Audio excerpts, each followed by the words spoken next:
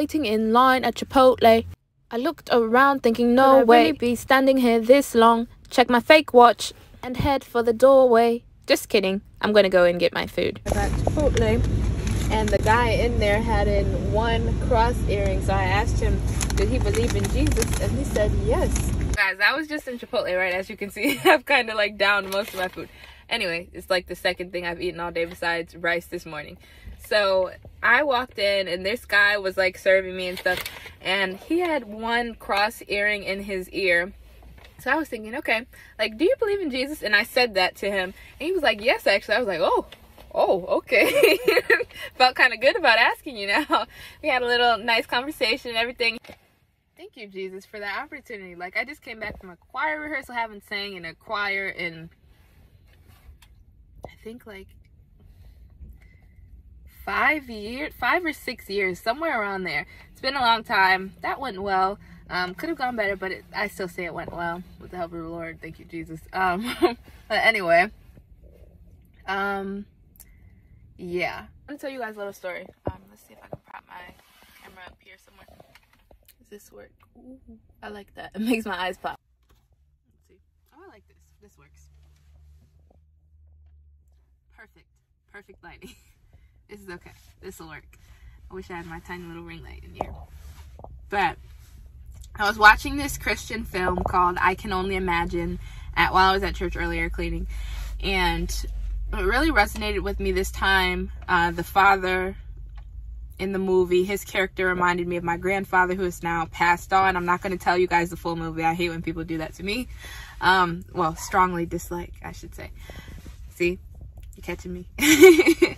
Keep me on my toes.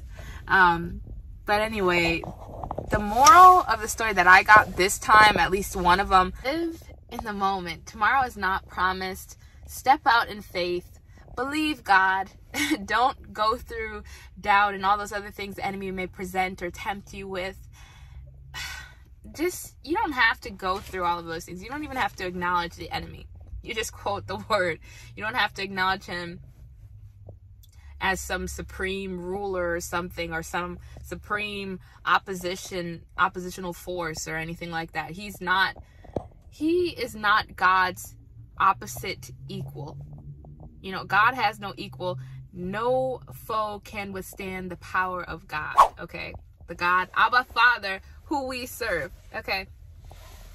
But old me, the one who was more restricted in life, the one who was like sh not shy but timid and afraid of ridicule, judgment, persecution, um, humiliation, all of those things, would not have asked the guy in Chipotle if, you know, because of his earring, do you believe in Jesus? Old me would have been like, okay, I'll just think about this. But new me is like, you know what? No, like, this is an opportunity to spread the love of Christ, especially to a believer. Like, hello, that's what we're doing here. That's what our purpose is here. We're supposed to spread the love of Christ to all people, especially brothers and sisters in Christ, I think.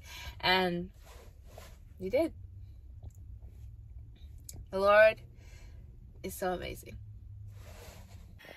I am really coming out to be this person who takes risks, who will go up and talk to people boldly about Jesus. And it's like, what? Like, that was not me.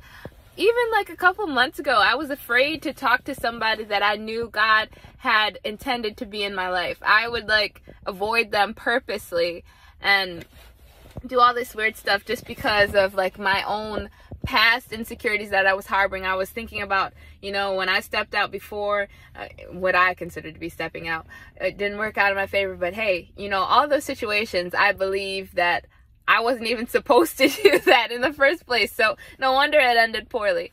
But this one I knew was from God. And you know what? And I'm a new person. I'm coming out. I'm walking out. I am stepping out in faith. I'm believing God. And I just, I look forward to every opportunity to share Jesus with the world. That is, I wear Jesus like in my heart, on my sleeve. Like he's just like every part of me from the crown of my head to the soles of my feet. And I love that I get to talk about Jesus to anyone I want in the world. with the leading of the Lord, of course. Hold on, you gotta wait 30 seconds, I think, for the light to come back on. See, this is why I need to just carry my ring light with me. um, this coming year, this semester, this season, I'm going all out. I'm stepping out of my comfort zone. I'm going to be bold and going up and talking to people. I am I'm done being Miss Quiet, shy, pretend shy, I should say. Um apprehensive, fearful, all those things. I just cast all that stuff aside. Um, rebuke that spirit of fear that used to um, so easily beset me. Uh, yeah, I'm just, I'm really done with all that. I had such a fear of like, what are people going to think about me? Um, are they judging my every move? They're critiquing me. They're watching me. They're saying all this stuff. But I'm in a place now, like, you know what? I'm so glad that I said something. Like, I cannot express to you how bad it feels when, like, you thought to do something and it was from the Lord and you didn't take that opportunity and you just had to think about, okay, like, what would they have said? What wouldn't they have said? You know, all that. You have to turmoil within yourself with all those things and you never got your answer. You never found out what would have happened. So, she's a risk taker now. I'm just gonna be recording in the dark here. I could turn the light on, but it's just gonna go back off after the timer goes. So, uh, if there's anything you want to take away from this, I really hope it's that you don't have to be afraid to step out. You don't have to be afraid to like go up and talk about Jesus. You don't have to be afraid to, um, to share the gift that God has made you to be with other people. I felt like I had to be isolated for so long.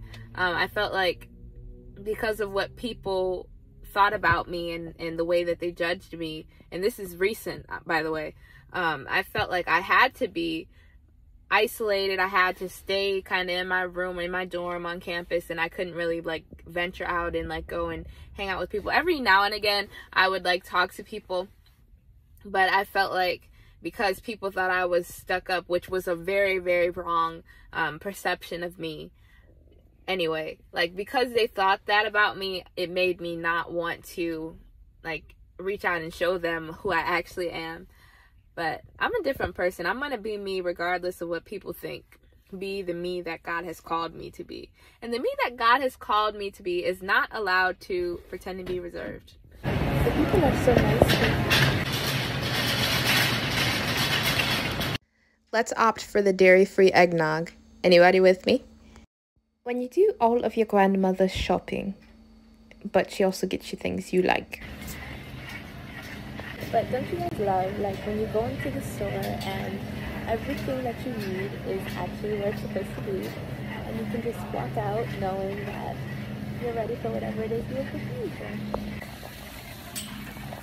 Merry Christmas Eve, Eve, Eve. Good night. Buenas noches. Laila Tov. 晚安，Buona notte，Bonne nuit。